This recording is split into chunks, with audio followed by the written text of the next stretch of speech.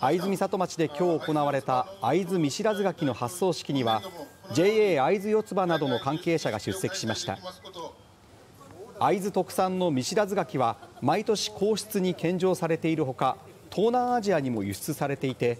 今年は600キロがマレーシアに輸出されます。新型コロナウイルスやロシアによるウクライナへの軍事侵攻の影響で海上コンテナの不足や船便のダイヤが乱れているため空輸で届けられるということです。海外にもっと広めて良さを知ってもらって生産者の皆さんの再生産の意欲につながるような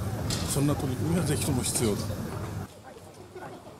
会津見知らず柿はこのほかタイに輸出することが検討されていて輸出の実現に向けて調整しているということです